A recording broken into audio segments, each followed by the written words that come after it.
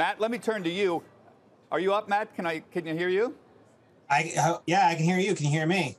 Terrific. Yes. Let me just turn to you. Maybe you can help explain this to everybody. Uh, I was talking to Jan about how his fund, the RSX, is still trading here in the United States, even though the underlying stocks themselves are not trading in Moscow. And explain to us how those uh, valuations are determined, how you get an, uh, an, estimate on what the fair value of, of any ETF is when the underlying stocks aren't trading in, in their, their underlying country. Yeah, I mean, some of the, the funds that are focused on Russian equities, they do own ADRs and GDRs, which are still traded in the secondary market.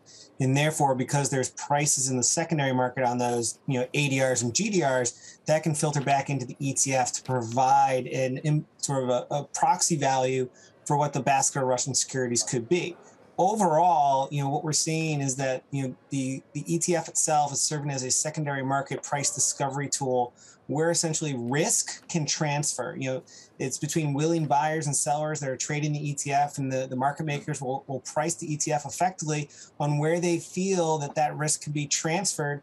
And they're going to be using a multitude of inputs, whether it's historical correlations to different marketplaces, or really what we're seeing now is just a dramatic haircut based on some of the, the lack of trading in the local markets and what we've seen in the in the CDX market for Russian local bonds, yeah. but also from a currency perspective. So what I always say in these type of periods where you do have some dislocations is that the ETF will be serving as a, an efficient risk transfer tool and price discovery mechanism.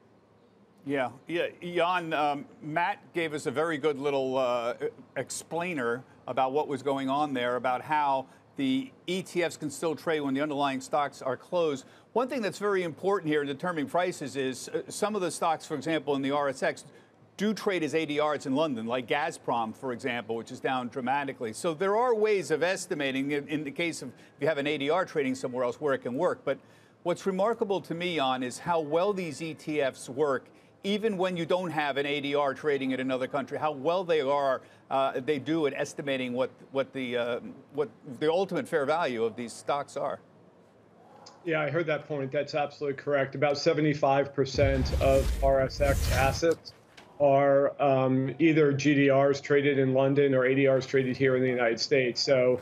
Uh, the, the one point I would add as well to the conversation is that it's very hard to determine what the underlying value is uh, of the of the stocks. Um, you know, when they're not trading, and even so, um, the ETF may trade at a premium or discount based on uh, traders' willingness to take risk on, because ultimately they do have to, uh, you know, exchange underlying shares into the ETF. Uh, uh, or not, and there are risks when when the companies might get sanctioned, or whether people in that delivery chain, including custodians, don't want to take custody. Yeah. You know, Todd, this is a, a, great teaching moment. You and I were talking about this, about the power of ETFs. Th- this happened before.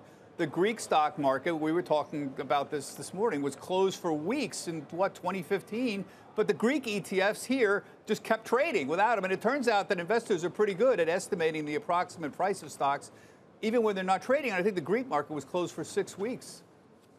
That's right. Uh, we, we saw that with GREK, that's the Greek ETF you were referencing. We saw this with the Irish Spring, that happened with the Egypt ETF. And we tend to see this quite regularly. The bond market is closed, but ETFs like JNK and AGG and other fixed income ETFs will be trading throughout the whole day. So the ETF is, is available to be able to buy or sell based on what investors are looking to do, either to exit the portfolio, but they have to be aware of that the ETF is trading at a price that is often different than what the fair market value of those underlying securities are. ETFs yeah. have liquidity that the underlying stocks don't, but that's the great opportunity for investors to get out or get in when they want to.